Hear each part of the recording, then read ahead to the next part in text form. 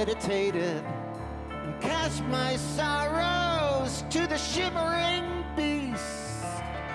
Got to end up my life.